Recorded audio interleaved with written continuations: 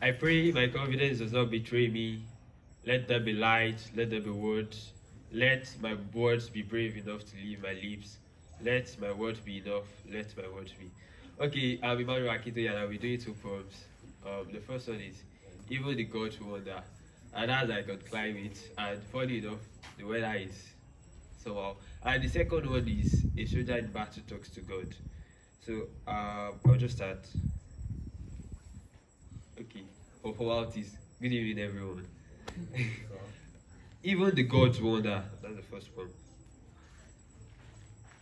I count my fingers every night so I do not wake up to see one of my fingers that's depleted like our ozone layer.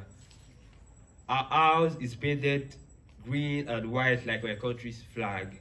So I pray toxic gases do not find their way into our greenhouse while I'm asleep. This is how to tap pollution on the back and tell him his bad company corrupts the good manners of our climate.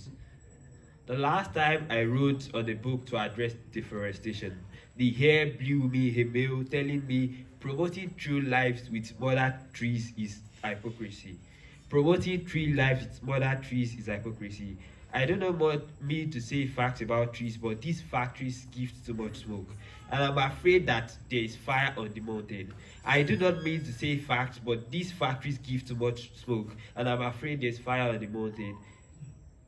My neighbor's daughter spelled climate without the first three letters. Immediately fear gripped me, so I couldn't correct her. Because I know yesterday's climate and today's are no mates. But the God still answers prayer. The God still answers prayer. My cousin prayed for a swimming pool on her birthday.